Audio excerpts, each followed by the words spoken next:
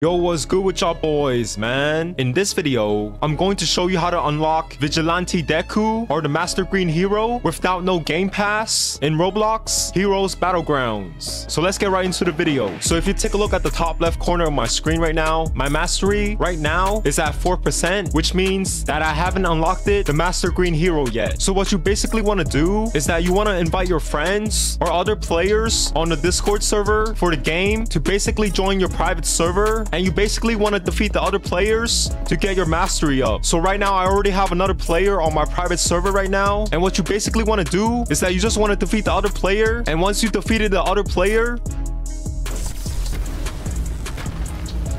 If you check your mastery bar again, you see that it says it has been updated with 0.34%. Basically, every time you defeat another player, you get 0.34%.